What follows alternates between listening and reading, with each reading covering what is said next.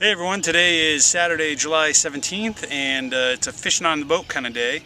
Uh, we're going to go for fluke and uh, maybe some blackfish and uh, see what else we can catch. So uh, stick with us.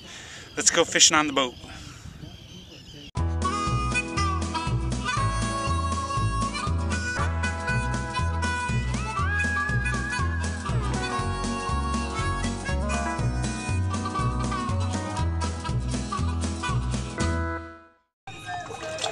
Okay everyone, this is a uh, sea robin. So we're going for fluke, and I picked up this guy here. If you listen, he'll make some, hear that noise he's making? That like deep throaty voice.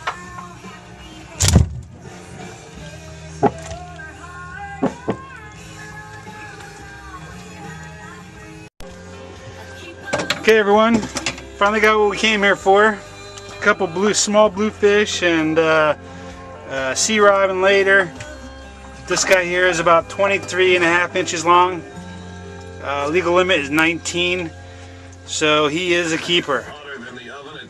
Good fish. Okay guys, this is fluke number two for me for today. This is another keeper.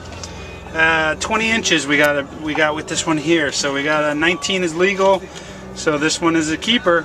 We're gonna put him in the bin here with the other one. That one's a lot bigger though. That one's got a lot more meat on it, but uh, this one is a keeper. Number two for me for today. All right, I'm going to show you quickly what we're using to catch these fish with. Um, we bought these large trolling squids, much, much bigger than those. The squids were probably a good 12, 15 inches in length. We cut them down to little strips here and cut a little fin in the back. And then we also hook a kelly on. So those little fish are called kellies and they uh, they kind of attract the uh, fluke. So uh, that's what we're using today. Uh, doing okay, caught a few.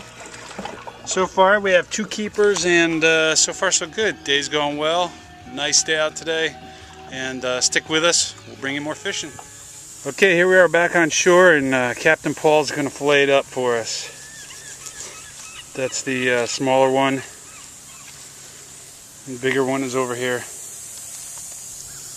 So today was an okay day. We could have caught more, um, but um, definitely to take a couple home is good. We both got a couple bluefish, a couple other fish that uh, we didn't, we weren't going for.